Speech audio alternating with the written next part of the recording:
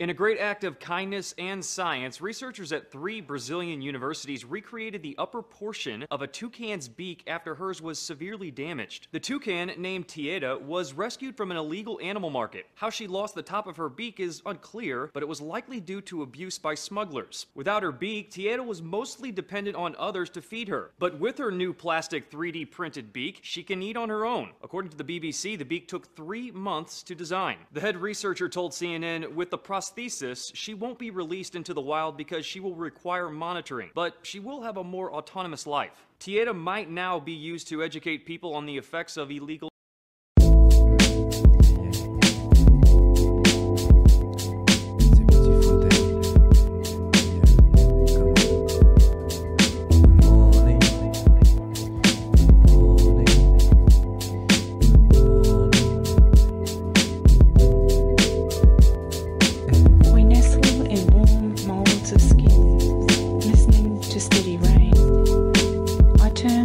touch the your